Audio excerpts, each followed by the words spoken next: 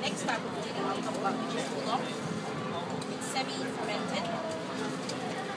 Um, semi-fermented means that they bruise the leaves a little bit to expose the oils of the plant, and then it reacts to the oxygen in the air, and it gives it that flavor. So a green tea doesn't do that. They don't bruise it at all. The white tea they don't touch it at all. Just dry it. The oolong tea they bruise it partially, tea they just go for it uh, because it's it's the most common. They want the caffeine. So I just put a teaspoon in there, and oolong usually grow into leaves. So a lot of people are tempted to put a lot more. Just one teaspoon.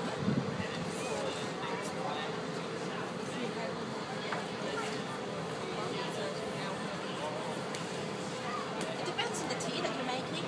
Generally, with green tea, a like a mug, is a teaspoon. I, uh, if you're brewing it in a, this one, I would probably just. And with oolongs, it's slightly different because the longer you leave them, the better they taste.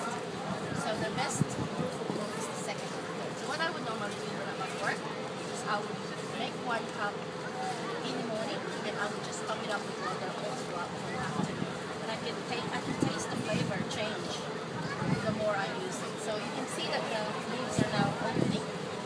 Uh, in a few minutes, that will be don't don't put a lot. A lot of people